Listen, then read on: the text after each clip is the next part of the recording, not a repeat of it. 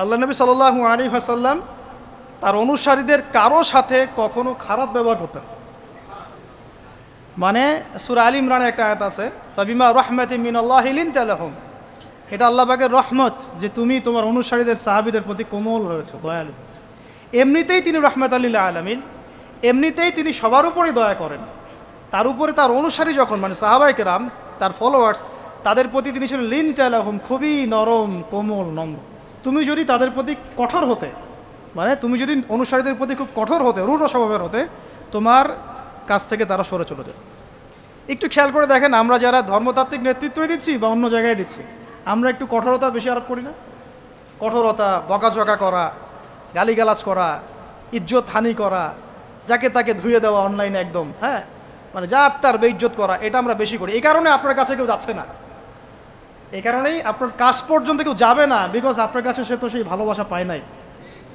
আবার আমরা এমন মানুষ পেয়েছি যারা এগুলোকে ভুলে গিয়ে সবাইকে বুকে টেনেও নিতে পারে।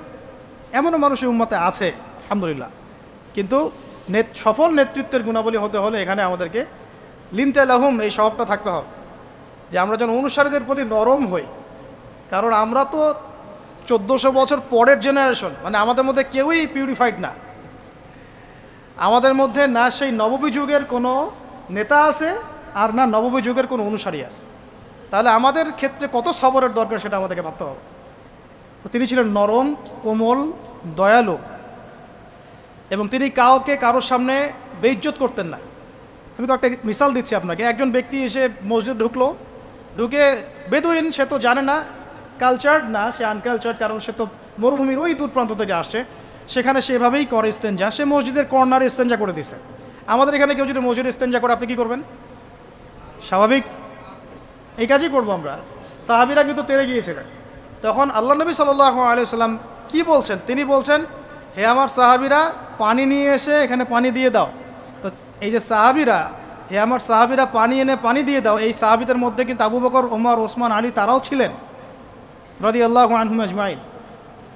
একজন সাহাবির এক পাল্লায় রাখা হলে আর এখনকার বিশ্বের সমস্ত মানুষকে আরেক পাল্লায় রাখা হলে আমরা কিন্তু মিলাতে পারব না। সেই সাহাবি থেকে নবীজি বললেন, পানি এনে পানি দিয়ে দাও। এটাকে বলে টিচার আদর্শ টিচার আদর্শ টিচার কেমন হয়? এরপরে সেই বেদুইন হাত তুলে দোয়া করছে। এরপরে সেই বেদুইন হাত তুলে দোয়া করছে, আল্লাহ, তুমি আমাকে মাফ করো আর মুহাম্মদকে মাফ করে দাও। ব্যাস। আল্লাহ, তুমি আমাকে মাফ করো, মুহাম্মদকে মাফ করো, আর কাউকে না। তখন নবী সাল্লাম গিয়ে বললেন, তুমি দোয়া কেন সংক্ষিপ্ত করলা কেন? দোয়াকে প্রশস্ত করো। তারপর তিনি দোয়া করলেন, আল্লাহ, আমাদের সবাইকে মাফ করো। মানে তার খারাপ লেগেছে। আমাকে এভাবে তেরে আসবে কেন? আর একদিন তিনি নামাজ পড়ছেন, পিছনে একজন সাহাবি নবী সাল্লাহ তেলাওয়াত করছেন উনিও জোরে জোরে তেলাওয়াত করছেন। মানে আমরা পড়ি না, আলহামদুলিল্লাহ রবিল আলমিন উনিও জোরে জোরে পড়া শুরু করেছেন। তো অনেকেই এটা দেখে খুব এক মানে বিব্রত।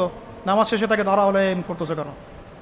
তাহলে নবী সাল্লাহ আলাইসলাম গিয়ে শান্তভাবে বোঝালেন, দেখো, নামাজটা হচ্ছে তসবি তালিল, তিলাওয়াত, রুকু সেজদার সমন্বয়। এখানে আমরা জোরে জোরে কথা বলি না বা জোরে জোরে তেলাওয়াত তখন তিনি বলেন, আমি আমার জীবনে এই রকম কোনো শিক্ষক দেখি নাই। নরম, কোমল। একজন ব্যক্তি আসছে, তাকে ঝাড়ফুঁক করবে। বললে অনেক সময় যাবে। কিতাবটা পড়ে না ঝাড়ফুঁক করবে মানে মানুষ মানুষ বুঝিয়েছে যে নবী সাল্লাহ আলী হাসাল্লামকে জিন ধরেছে নাউজুবিল্লাহ। তারা মনে করে আল্লাহ নবীর কাছে ওই আসে না, তাকে জিন জিন আসর পড়ে নাউজুবিল্লাহ। তো সে এসছে ঝাড়ফুঁক করবে। তো তখন সামনে বসতে বলেছেন জিমাদ আলাসদি তার নাম। অনেক দূর থেকে আসছেন তিনি। তখন নবী সাল্লাহ আলাইসলাম বলছেন আচ্ছা বসুন। আপনি ঝাড়ফুঁক করতে আসছেন? হ্যাঁ। তো কথা শুরু করার আগে তিনি বলছেন ইন আলহামদুলিল্লাহ নাহমাদুহু ওয়া নাস্তাঈনুহু, মান ইয়াহদিহিল্লাহু ফালা মুদিল্লা লাহ ওয়া ইউদ্লিল ফালা হাদিয়া লাহ ওয়া আশহাদু আন লা ইলাহা ওয়া আশহাদু আন্না মুহাম্মাদান আবদুহু ওয়া রাসূলুহু এটা বললেন জিমাদ আল তিনি বলছেন, কি বললেন? আরেকবার বলেন দেখি। ফের আরও একবার বললেন, কি বললেন? আরেকবার বলেন দেখি আরও একবার বললেন। তখন জিমাদ আল বলছেন যে, আল্লাহর কসম, আমি তো এসেছিলাম আপনাকে ঝাড়ফুঁক করার জন্যে। কসম আল্লাহর, আপনি যে কথাগুলো বললেন, মনে হচ্ছে এগুলো সাগরের গভীর থেকে উঠে আসছে।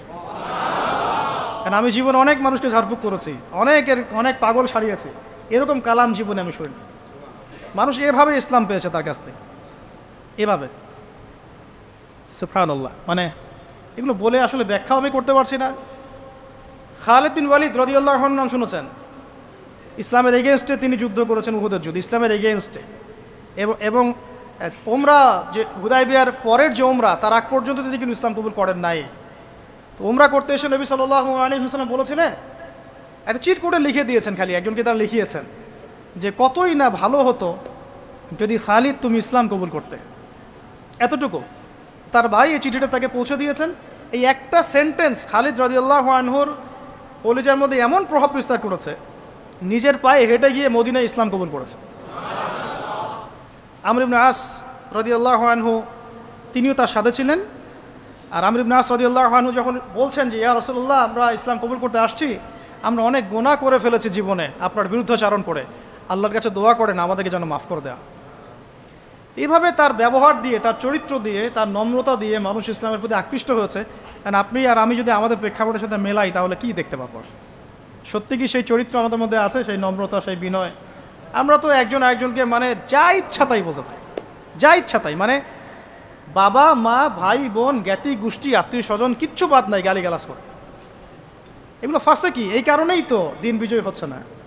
শুধুমাত্র আমাদের সাধারণ মানুষের কথা বাদ দেন, যারা দিনের রিপ্রেজেন্টেটিভ এইসব চেয়ার আমরা বসি। আমরা একে অপরের সাথে যে বিহেভটা করি, এটা তো সাধারণ মানুষ জানে না, আমি জানি। আমি আবু তো আদনান জানি, কি বিহেভ করা হয়। কীরকম বিহেভ এই পর্যন্ত আমাকে সহ্য করতে হয় যেটা আমি আসলে বলতে গেলে বেশি বলে ফেলব। তখন আমার তাস্কিয়া নষ্ট হবে। এই জন্য আমি চুপ আছি। বলতে গেলে বেশি বলে ফেলতে পারি। তবে এগুলো কোনোটাই নববী আখলাক না। এগুলো নববীতে আখলাক নাই নবী সাল্লাহ আলী আসাল্লামের সিরাত সুন্নতের সাথে কোনো মিলন। এই কারণেই মানুষ দেখবেন আস্তে আস্তে কোনো কোনো ক্ষেত্রে আমাদের থেকে দূরে সরে যাচ্ছে। আর নবী সাল্লাহ আলাইসলাম অনুসারীদের প্রতি এত কোমল রহম ছিলেন রহম দিন ছিলেন সুবহান আল্লাহ একজন সাহাবি একটা কুফুরি কালিমা পরে আসছেন। তাকে প্রচণ্ড নির্যাতন করা হয়েছে। তার নাম আম্মার ইনিয়াসির রাজি আল্লাহানু জোর করে জোর করে একটা কালিমা আদায় করা হয়েছে। বল মোহাম্মদ ভালো না, বল মোহাম্মদ ভালো না সাল্লাহ আলাইসলাম তো মার সহ্য কর মার কিন্তু কঠিন জিনিস। এগুলো বললে অনেকে ইমান চাঙ্গা হয়, অনেকে ঠিক ঠিক বলেন। দুটা মায়ের পিছু পিঠের উপর পড়লেই আর দেখবেন সব শেষ। কঠিন বিষয় এগুলো, খুব কঠিন। যাদের এইসব অভিজ্ঞতা নাই, তাদেরকে সব বলেও লাভ নাই। যাই হোক বাইদা হয়ে তো এই সাহাবি তখন বলে ফেলেছেন একটা কথা। মারে সহ্য করতে না পারে, বলে ফেলেছেন। আর কাঁদতে কাঁদতে দৌড় দিয়ে তিনি নবী সাল্লাহ আসলামের কাছে গেলেন। কোথায় আল্লাহ রসুল আমাকে নিয়ে চলো, আমি তার পা চুম খাব, ইত্যাদি। সুরা না হলে এই একটা আসছে সম্ভবত, না? না না না আসলে না। তো একটা হচ্ছে এরকম যে, যাদের মন ইমানে পরিপূর্ণ, তাদেরকে যদি জোর করে এরকম কোনো কথা আদায় করা হয়, এতে তাদের কোনো ইমানের ক্ষতি হবে না চাল আম্মার বিন ইয়াসির রদিউল্লাহ খানু সম্পর্কে এরকম একটা আয়াত নাজির হয়েছে। তো আমি বলতে চাচ্ছিলাম যে, এত মহব্বতের মানুষ ছিলেন তিনি তার কাছে যে কোনো দুঃখ, কষ্ট শেয়ার করা যেত। নিজের সমস্যা, নিজের দুঃখ, নিজের কষ্ট, নিজের অসহায়ত্ব তার কাছে শেয়ার করার জন্য তিনি মনে হতো তিনি আপন কেউ। আমাদের সবচেয়ে আপন মানুষ, সবচেয়ে প্রিয় কেউ, সবচেয়ে মহব্বতের, যার কাছে মন খুলে কথা বলা যায়, যার উপর ভরসা করা যায়, যার কাছে দোয়া নিলে সমস্যা কেটে যায়। আর তিনি এমন একজন মানুষ ছিলেন যার কাছে গেলে সমস্ত প্রেশার পেইন রিলিফ হয়ে যেত। অনেক সাহাবি, আমাদের টাইম লিমিটেশন দেওয়া হয়েছে, অনেক সাহাবি শুধু বাসায় যেতেন, আবার ফিরে আসতেন তাকে একবার দেখার জন্য। বাসায় যেতেন, আবার ফিরে আসতেন। উকি মেরে দেখতে আসতেন যে কেমন দেখে আসেন আপনি এখনও রওজায় যান মদিনায়, দেখবেন আপনার বারবার জিয়ারত করতে ইচ্ছা করবে আরেকবার দেখে আসি, আরেকবার সালাম দিয়ে আসি। তাহলে জীবিত থাকতে তিনি কেমন ছিলেন, এটা তার বলার অপেক্ষা রাখে। এটার বলার অপেক্ষা রাখে। এখনও মনে হয় যে আমরা তাকে পেলে তার পা ধরে চুমু খাইতাম, হাত ধরে চুমু খাইতাম, কপালে চুমু খাইতাম, জড়ায় ধরতাম, ইয়া রসল্লাহ উম্মার আজকে এই অবস্থা, ইয়া রসল্লাহ আমাদের আজকে এই অবস্থা। আমরা তো এরকম করতাম, পাগল হয়ে যেতাম। তখন এখন চিন্তা করেন, আমরা যারা দিন নিয়ে এভাবে চলছি, চলাফেরা করছি, আমরা অন্যায় করছি, জুলুম করছি, দুর্নীতি করছি, দিনের এলম শিখছি না, উম্মার বিভক্তি বাড়াচ্ছি, আমরা কোন মুখ নিয়ে তার সামনে দাঁড়াবো? আমরা কি সত্যিই আমাদের মধ্যে অনেস্টি নিয়ে তার সামনে দাঁড়াতে পারব? আল্লাহ নবী যদি বলেন যে, কোরআন শিখে আসছি নাকি? আমার শূন্যতে আমল করছ কি? হালাল কি খাইছিলা? কোরআনটা যে রেখে আসছিলাম, পড়েছিলা কি? মানুষকে দিনের দাওয়াত দিয়েছিলা কি? ইত্যাদি ইত্যাদি। আমরা কোন প্রশ্নের উত্তর দিতে পারব? তোমাকে আল্লাহ আমার উম্মতের শাসক করেছিল। তুমি কি আমার উম্মতকে সৎ পথে চালিয়েছিলে? তুমি কি উমরের উত্তরসূরি হতে পেরেছিলে? নাকি দাজ্জালের উত্তরসূরি হয়েছে? আমরা কি অ্যান্সার দিব? জাস্ট আপনাদেরকে ভাবার নসিহত করছি আর কি। জাস্ট ভাববেন এগুলো। ভাবলে অনেক উত্তর পেয়ে যাবেন এবং তখন দেখবেন নিজের মধ্যে পরিবর্তন আসবে ইনশাল্লাহ খালি ভাবতে হয়, আমাদের ক্রিটিক্যাল থিঙ্কার্স দরকার, যারা বিচক্ষণ, চিন্তাবিদ, এরকম মানুষ দরকার। চারটা বলেছি না পাঁচটা? চারটা। আচ্ছা পাঁচটা দিয়ে শেষ করি হ্যাঁ? আচ্ছা লাস্ট পাঁচটা হচ্ছে দেখুন। একটু রিমাইন্ডার দেই, নবী হওয়ার আগের নববী আখলাক আমরা সবাই লালন করব ইনশাআল্লাহ। দুই নম্বর, এলেমের চর্চা, ধারক বাহক হওয়া, মানুষকে দিনের এলেম শেখানো এবং সেই এলেম অনুযায়ী নিজে আমল করা। আমল করে দেখানো, নিজে আগে দৃষ্টান্ত স্থাপন করা, ঠিক আছে? আর তারপর চার নম্বর বলেছি, তিনি সব অনুসারীদের প্রতি খুব কোমল, নরম এবং রউফ ছিলেন। এত কোমল নরম, রউফ যে কেয়ামতের মাঠে তিনি তার দোয়াটাকে স্থগিত রেখেছেন আমাদের সুপারিশের জন্য করবেন ইনশাআল্লাহ। আর ইনশাআল্লাহ তার সুপারিশ পাওয়ার পরে কবিরা গুনাগার এই উম্মতের মানুষরাও জান্নাতে চলে যাবে। ইনশাআল্লাহ কবিরা গুনাহ করলেও এই উম্মতের মানুষরা জান্নাতে যেতে পারবে ইনশাআল্লাহ। যদি তার তাদের ক্যালিমা, তাওহিদটা ঠিক থাকে। ঠিক আছে? তো পাঁচ নম্বরটা দেই, যে শেষ করে দেই, সেটা হলো তিনি অনুসারীদেরকে ঐক্যবদ্ধ রাখতে বদ্ধপরিকর থাকতেন। অনুসারীদের মাঝে কোনো রকম বিশৃঙ্খলা, বিভক্তি যেন সৃষ্টি না হয়, এরকম সফল নেতা ছিলেন মোহাম্মদ সাল্লাহ আলী কারণ আপনি যখনই বিভক্তির দিকে চলে যাবেন, কোনোভাবেই আর এই জাতিটাকে নিয়ে আপনি বিজয় অর্জন করতে পারবেন তো খেয়াল করে দেখেন, না এখানে না নবী সাল্লাহ আলী সাল্লামের সময় কোন আনসার, মুহাজির বিভক্তি ছিল, দলাদলি ছিল? একদিন খালি একটু কনফ্লিক্ট হয়ে গেছে মদিনায়, তাই না? আওস এবং হাজরাজ এবং মহাজিদদের মধ্যে, আমরা আগে পানি নিব, না আমরা আগে নিব। আমরা মহাজিদ আমরা হিজরত করে আসছি, আমরা আনসার, আমরা তোমাদেরকে জায়গা দিয়েছি, একটু কনফ্লিক্ট হয়ে গেল। নবী সাল্লাহ আলাইসলাম চেহারা লাল হয়ে গেছে তার, রাগ হলে তার চেহারা লাল হয়ে যায় গিয়ে বলেন, আমি বেঁচে আছি, বেঁচে থাকা অবস্থায় তোমরা এই কাজ করছ? আর আমরা এখন নিজেরাই এই উম্মাটাকে হাজারটা দলে ভাগ করে দিয়েছি আর এই বিভক্তির কারণে আপনি বাংলার মাটিতে দিন কায়েম করতে পারবেন না। আপনি একশো বছর চেষ্টা করেন পারবেন না ইনশাল্লাহ বললেন, আবার ইনশাল্লাহ বললেন কেন? কারণ আমি জানি তো পারবেন আমি কনফিডেন্ট আমার কথায়। একটা বিভক্ত উম্মা দিয়ে কখনো আপনি ইসলামী হুকুমত, খেলাফত কিছু কায়েম করতে হবে যতক্ষণ না আপনি ইউনাইটেড হচ্ছে এবং ইউনাইটেড সবাইকেও হতে হবে নট নেসেসারি যারা হকপন্থী, তাদেরকে হতে হবে। যারা বাতিলপন্থী, পাক্কা মোশরেক, পাক্কা বেদাতি, বাদ দেন ওদের কথা। যারা হকপন্থী অ্যাটলিস্ট তারা তো এক জায়গায় বসবে, একটা টেবিলে বসবে। এই টেবিলে বসাতেই পারবেন না আপনি। এই টেবিলে বসাতে গেলে দেখবেন কত প্রতিবন্ধকতা। অমুক মাহফিলে থাকলে আমি ওয়াজ করব না। তমুক বই লিখলে আমি লিখব অমুকের বই ছাপাইছ কেন? আমারটা ছাপানো যাবে না। সুফান আল্লাহ মনটা যে কত সংকীর্ণ আমাদের এখন পর্যন্ত। আল্লাহ পাক আমাদেরকে এটা বোঝার তফিক আল্লাহ নবী সাল্লাহ আলী ইসলাম অনুসারীদের মধ্যে খুব ইউনিটি বজায় রাখতেন। কোনোভাবেই যেন তাদের মধ্যে কোনো রকম বিশৃঙ্খলা না সৃষ্টি হয়।